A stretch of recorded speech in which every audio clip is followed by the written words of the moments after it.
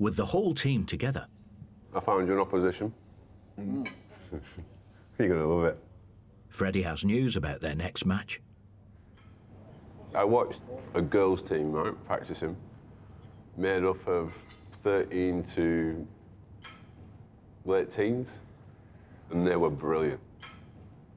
So I'll ask them to play against us tomorrow. Oh. Emmy's trying to find yourself a missus. What do you think I will say? They're really skillful. They can actually play. Do you think? Do you think it changes anything playing against girls? It's, it's a game of skill, this really, isn't it? It's about how much you know. You're both there to play cricket at the end of the day, aren't you? When I was younger, I was having a game and there was a girl playing, and I was like, "Oh, dad, a girl." And my dad said to me, "When the ball leaves a bowler's hand, it doesn't have a gender; it has an agenda." She's come running and bowling me, and thump, bowled me out. That was my biggest life lesson. Gender don't mean nothing. Um, just want to say, lads, I'm excited for tomorrow. I love playing with you lot, so let's just keep it going. this is part of cricket.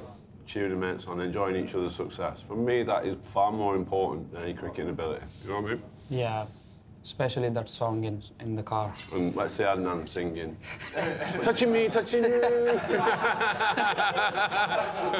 so good, so good. Sweet child.